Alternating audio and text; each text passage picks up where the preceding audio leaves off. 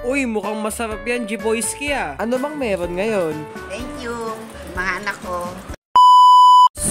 pala no, kumusta nga pala kayo mga ka-Jiboyski TV? Back with another video nga pala tayo ngayon. Nandito nga pala kami sa Ara Mills Restaurant upang mag-celebrate ng birthday ni Lola Mami. Siyempre dapat enjoy din si Jiboyski. Siyempre hindi mo wala tong favorite appetizer ko, yung mozzarella blocks. Dito nyo malalaman mga ka-Jiboyski TV kung bakit ko siya paborito. Tignan nyo naman tong mozzarella blocks kapag gaginanto mo talagang nakakatakam. Sausaw din natin yan dito sa sauce. Para mas masarap.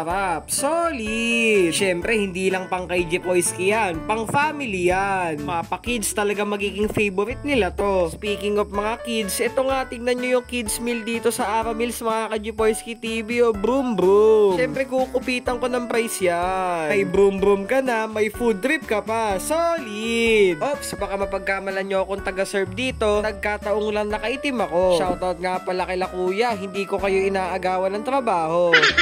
At dumating na nga pala yung in-order namin. Happy, happy birthday, Lola Mami. Solid! Food trip na naman si Jipoyski. Favorite ko talaga mag-food trip dito sa Aramiels. Lalo na sa mga special occasions tulad na lang ng mga birthday. Nung nakaraan kong birthday, dito ako nag-celebrate. Kung ako nag-birthday ngayon, si Lola Mami naman ngayon. Ah, tara mga ka-Jipoyski TV, tayo'y kumain na, gutom na ako. Pero bago nga pala tayo kumain, kakantahan muna natin na ang my birthday. Thank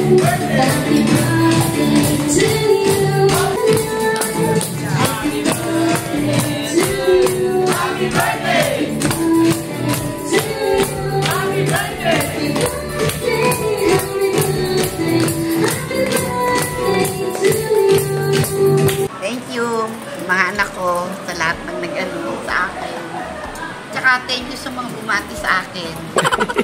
Gutom na nga talaga ako mga ka-Jipoyski TV kaya lumapang na nga pala ako netong chicken saburi. Nagke-crave talaga ako dito. Ito talaga ang the best sa birthday kapag ka may food trip. Pagkatapos ko nga palang kumain, ang masasabi ko lang ay happy happy birthday po Lola Mami. More birthdays to come. Sana na-enjoy nyo po ang araw na ito. Maraming maraming salamat sa panonood mga ka-Jipoyski TV. See you in my next vlog.